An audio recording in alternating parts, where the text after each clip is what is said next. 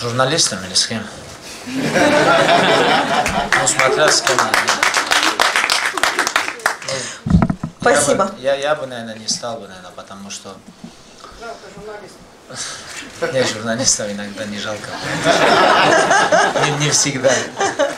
Я шучу, конечно. Этот, э, я бы, наверное, не стал бы, наверное, принимать таких боях участие, потому что как профессиональный атлет я многое доказал и доказал, что э, как боец я один из лучших в мире, так что что мне там с кем-то, э, с качками или журналистами драться, не вижу смысла.